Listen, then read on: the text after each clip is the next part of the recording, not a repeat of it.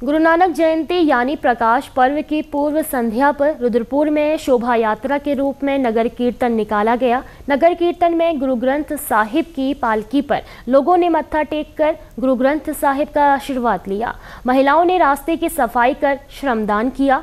पंच प्यारों की अगुवाई में निकले नगर कीर्तन में महिलाओं ने पालकी के आगे सफ़ाई कर श्रमदान किया।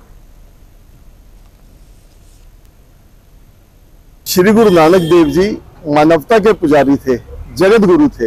गुरु साहब ने ऊंच नीच, जात पात, धर्म संप्रदाय, अमीर गरीब, इस भेदभाव से ऊपर उठ समूह जगत को एक समान रहने का संदेश दिया, जिनके संदेश से प्रभावित होकर उनके लोग शिष्य बनते गए, जिन्हें पंजाबी में सिख कहा जाता है।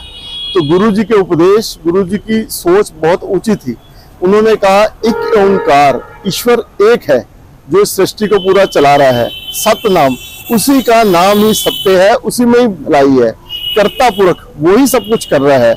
निर्भव, निर्वैर, उसको ना किसी का भय है और ना उसका किससे वैर है। अकाल मूर्त, वो काल से अलग, उसको जन्म मरण नहीं होता। अजूनी, वो किसी जून में नहीं है।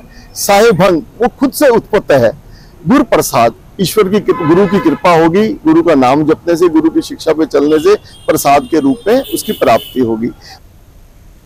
छात्रा सुखमन कौर ने प्रकाश पर्व की पूर्व संध्या पर आयोजित नगर कीर्तन की सभी को बधाई दी। उन्होंने बताया कि इस शोभा यात्रा में शहर के सभी स्कूलों के बच्चे शामिल हुए हैं।